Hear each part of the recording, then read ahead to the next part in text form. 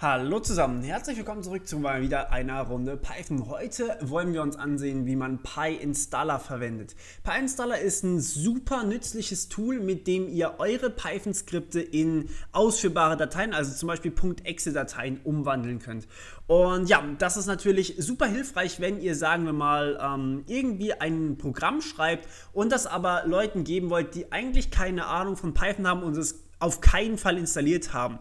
PyInstaller macht dann so ziemlich alles für euch. Es kompiliert eure Datei, also es kompiliert euren Python-Code in eine ausführbare Datei, also auf Windows zum Beispiel in eine .exe-Datei und die könnt ihr dann einfach jemand anders geben und der kann die ganz gewöhnlich ausführen. Und das ist natürlich super, super praktisch. Ähm, natürlich auch, wenn ihr irgendwie einfach unkompliziert das Ganze distributen wollt, sozusagen, also verteilen wollt an andere. So, ähm, damit wir wissen, wie das Ganze funktioniert, ist eigentlich wirklich super einfach. Ähm, machen wir hier erstmal ein neues Dokument, ein neues Python-Dokument und nennen das Ganze test.py. Und hier machen wir jetzt wirklich nichts Besonderes rein. Ich mache jetzt einfach wirklich nur ein Hello World rein. Ähm, mit Bibliotheken kommt PyInstaller übrigens auch wunderbar klar. Die werden einfach direkt mitkompiliert. Das heißt aber, ihr werdet jede Bibliothek komplett nachher in eurer ausführbaren Datei bzw. in den Libraries wiederfinden. Das heißt, wenn ihr irgendwie was ganz Ausgefallenes wie, keine Ahnung, NumPy oder sonst irgendwas ähm, einbindet, dann wird das auch wirklich mit kompiliert und liegt danach in diesem Ordner drin. Das heißt, es kann schon recht groß werden, denkt da immer daran. Aber ähm, ja, in den meisten Fällen ist man da auch sehr, sehr dankbar darüber. Okay, als nächstes, äh, also da ist jetzt wirklich ganz normales Python-Skript. Ich zeige es euch wirklich sehr, sehr basic. Äh, basic. Hier test.py ausführen, Hello World wird ausgegeben. Wirklich super einfach. So, nächster Schritt ist natürlich, wir brauchen PyInstaller. Und jetzt muss ich eine Kleinigkeit loswerden. Normalerweise installiert man das Ganze über pip.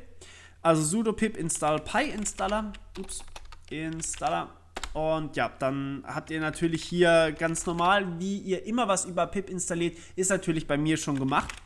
Und ähm, ja, was jetzt im Endeffekt wichtig ist, ist, wenn ihr das Ganze für Linux-Rechner ähm, rausbringen wollt, dann müsst ihr diese test.py auch auf Linux kompilieren. Das heißt, ihr müsst PyInstaller auf Linux ausführen.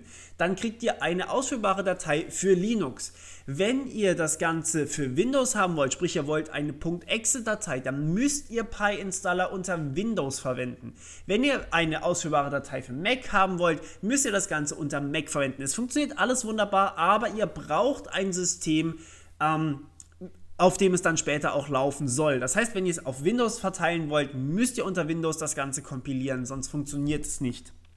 Okay, und jetzt ausführen ist eigentlich sehr, sehr einfach.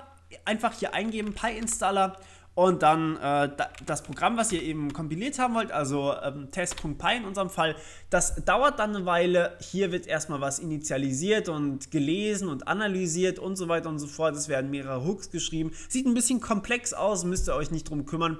Ist eigentlich relativ simpel. Und was ihr jetzt habt, ist natürlich immer noch euer Python-Skript, aber ihr habt auch einen Ordner dist. Und unter dist findet ihr dieses Test und das ist natürlich das, was ich hier auch hatte. Und wir sehen hier, ah, okay, hier haben wir einen Haufen .SOs. Die SOs, das sind die Libraries, also im Endeffekt DLL-Files unter Linux. Unter Windows werden es DLL-Files sein. Und ähm, die findet hier äh, die findet ihr hier alle, also irgendwie wurde auch MD5 oder Opcode oder sowas mit äh, compiled und Shade 200, äh, 512 und irgendwelche Sockets, SSL und so weiter, einfach nur um so ein simples Programm zu haben. Aber was ich jetzt machen kann, ist, ich kann einfach das Ding ausführen. Ich muss kein Python theoretisch installiert haben, was natürlich unter Linux sowieso immer installiert ist. Aber ich kann das machen. Ich kann hier einfach .test eingeben. Unter Windows könnt ihr einfach die Exe ausführen. Also Doppelklick wird hier auch funktionieren. Ich sehe dann nur nichts, weil ich natürlich äh, keine Konsole habe, die mir das dann zeigt. Deswegen gerade so. Aber ja, das wäre dann die Variante, wie ihr das Ganze unter Linux kompiliert. Unter Windows, wie gesagt, exakt gleich, nur dann bekommt ihr eben hier eine .exe raus. Coole Sache das Ganze, ähm, sehr, sehr nützlich, vor allem für grafische Anwendungen natürlich. Wenn ihr irgendwie zum Beispiel PyQt verwendet, dann ist das vielleicht unter Windows nicht schon ähm, standardmäßig vorinstalliert, genauso wie Python ist nicht vorinstalliert, dann wäre das natürlich eine super Art und Weise, wie ihr euren Deployment-Prozess erleichtern könnt. Und ja, das ist eigentlich auch schon wieder alles. Es gibt einen Haufen Optionen für PyInstaller, also wenn ihr irgendwie mal was ganz Besonderes braucht, könnt ihr gerne mal hingehen und sagen äh, PyInstaller-H. Dann bekommt ihr hier diese ganzen Optionen, die könnt ihr euch mal durchlesen. Ich habe die Erfahrung gemacht, man braucht sie normalerweise eigentlich nicht. Außer man macht ganz komische Sachen und selbst dann braucht man sie normalerweise nicht.